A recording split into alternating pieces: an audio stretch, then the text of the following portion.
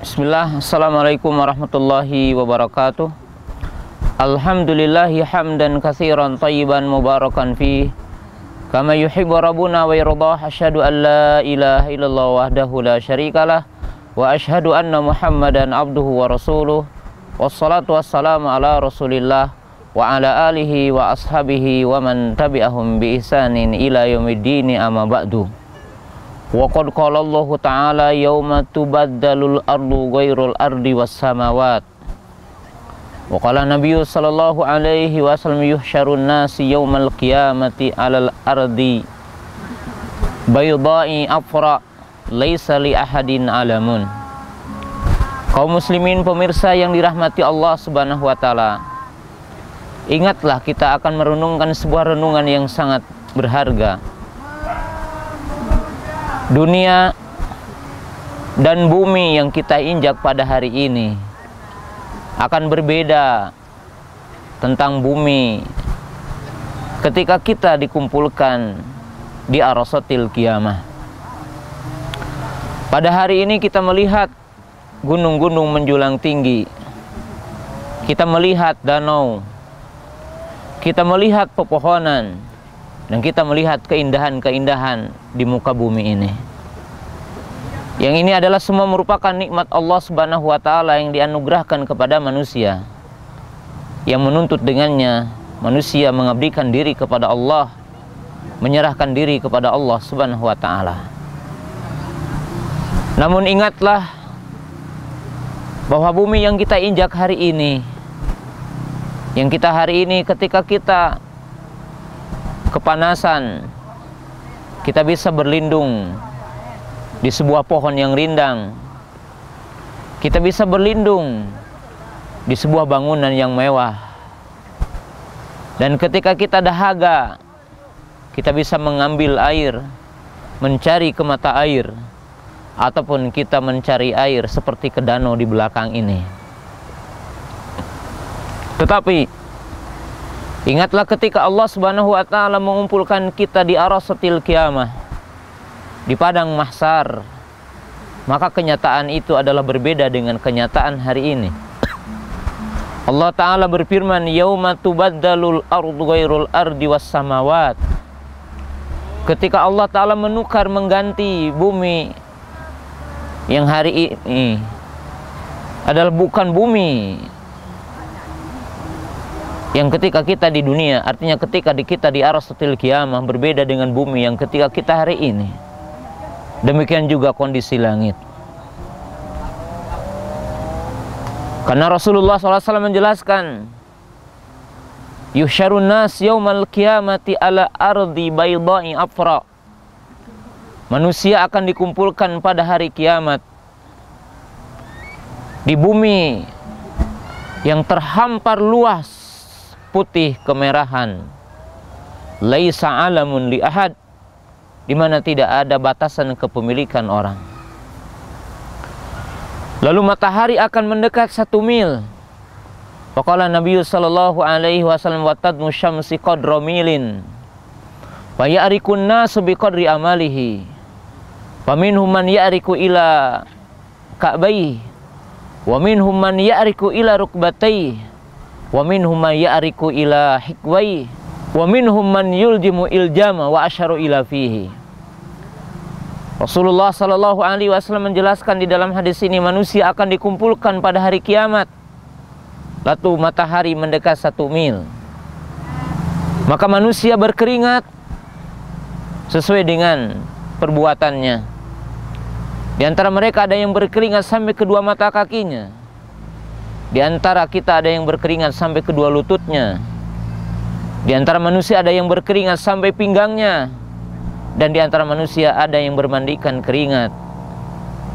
Karena ketika di arah setil kiamat tidak seperti hari ini. Ketika kita kepanasan, kita mencari tempat berlindung. Ima pohon yang teduh, pohon yang rindang, ataupun rumah yang mewah.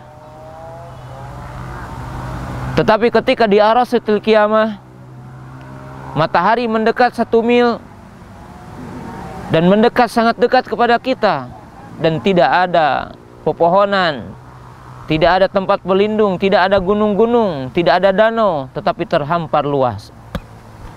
Kecuali sebuah danau yang nanti dipersiapkan bagi orang-orang beriman, yaitu yang dinamakan Telaga Nabi SAW. Kaum muslimin yang dirahmati Allah Subhanahu wa taala. Maka barang siapa yang ketika diberikan kemewahan dunia, kenikmatan dunia yang hakiki pada hari ini lalu dia tidak bersyukur kepada Allah, tidak mengabdikan diri kepada Allah Subhanahu wa taala, maka ketika di arasatil kiamah, ketika Allah Subhanahu wa taala mengumpulkan kita dalam keadaan telanjang, tidak memakai sandal, tidak berpakaian, tidak dihitan, sebagaimana dinyatakan dalam hadis yang sahih, hadis Aisyah radhiyallahu taala anha, Qala Nabi sallallahu alaihi wasallam yuhsyarun nas hufatan uratan gurla. Manusia akan dikumpulkan pada hari arasatil kiamah dalam keadaan telanjang, dalam keadaan tidak dihitan, dalam keadaan tidak memakai sandal. Pada waktu itu tidak ada seorang pejabat berbeda dengan seorang rakyat. Tidak ada seorang penguasa dengan rakyat jelata. Tidak ada perbedaan orang yang memiliki harta dengan orang yang miskin. Tetapi disamakan oleh Allah Subhanahu wa taala dikumpulkan di tempat yang terbuka, terhampar luas, di mana buminya pada waktu itu berbeda dengan bumi hari ini. Manusia hari ini ketika merasakan panas, dia bisa untuk berlindung, dia bisa mencari perlindungan. Tetapi ingat, wahai manusia, wahai kaum muslimin, pemirsa yang dirahmati Allah Ta'ala. Pada hari arasatil kiamat tidak ada yang bisa melindungi kita dan tidak ada yang bisa memberikan keselamatan kepada kita kecuali karena keimanan kita kepada Allah. Kecuali kalau kita itu adalah tunduk kepada Allah kecuali karena amal soleh yang kita berbuat. Allah berfirman al-yawma la yanfa'u malun wala banun ila man atallaha biqalbin salim. Suatu hari tidak bermanfaat keturunan harta yang banyak keturunan yang banyak kekuasaan dan sebagainya tidak berharga kecuali yang datang kepada Allah Ta'ala dengan hati yang tunduk, ketaatan kepada Allah Subhanahu wa Ta'ala. Dan Nabi SAW menjelaskan dalam sebuah hadis, hadis Abi Hurairah radhiyallahu taala anhu, sab'atun yudilluhumullah fi dhilli la ila dhilluh. Ada tujuh kelompok orang yang akan diberikan naungan oleh Allah Subhanahu wa taala ketika matahari mendekat satu mil. Di mana semua mereka berkeringat, merasakan panasnya, tetapi ada tujuh kelompok orang yang akan diberikan naungan oleh Allah Subhanahu wa taala diberikan penjagaan oleh Allah Ta'ala. Mereka tidak akan merasakan panas matahari siapa di antara mereka. Al-imamul adil pemimpin yang adil. Rajulun qalbuhu mu'alakun fil masajid. Orang-orang yang hatinya terikat dengan masjid. Senantiasa menjaga berjamaah sholat kemudian dia menjaga hak-hak Allah Subhanahu wa taala di luar masjid sebagaimana ketika dia di masjid.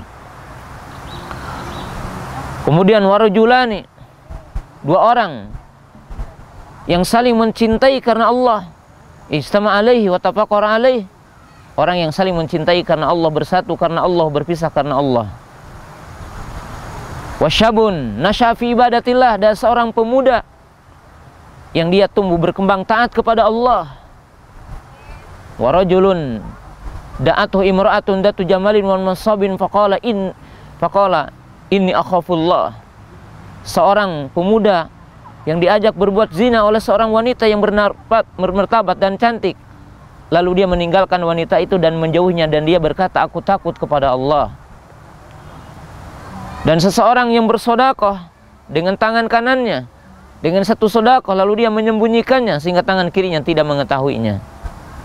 Dan yang ketujuh adalah seseorang yang dikir kepada Allah dalam waktu yang hening, dalam waktu yang menyendiri di tengah malam Lalu dia menangis dan dia mengatakan takut kepada Allah Subhanahu wa taala. Pemirsa yang dirahmati Allah Subhanahu wa taala. Jadi ketika Anda duduk seperti ini mentadaburi tentang alam semesta ini, keindahannya dan kemuliaannya, maka ingatlah bumi yang kita injak hari ini, bumi yang kita berjalan mencari nafkah di dunia ini, maka sesungguhnya kita tidak akan mendapatkan lagi keindahannya jika seandainya kita tidak bersyukur kepada Allah, tidak mentaati Allah Subhanahu wa taala. Tetapi bagi orang-orang yang beriman setelah dikumpulkan di arasatil kiamah, lalu dia dimasukkan ke surga, maka dia akan mendapatkan keindahan, kenikmatan yang melebihi kenikmatan yang kita dapatkan di dunia ini. kemewahan, keindahan, kemuliaan yang akan melebihi apa yang kita dapatkan. Tapi bagi siapa? Orang-orang yang beriman kepada Allah, orang-orang yang mentaati Allah, orang-orang yang berjihad di jalan Allah, orang-orang yang menjaga dirinya dalam ketaatan kepada Allah, orang-orang yang menjaga dirinya untuk menjauhi setiap yang dilarang oleh Allah Subhanahu wa taala.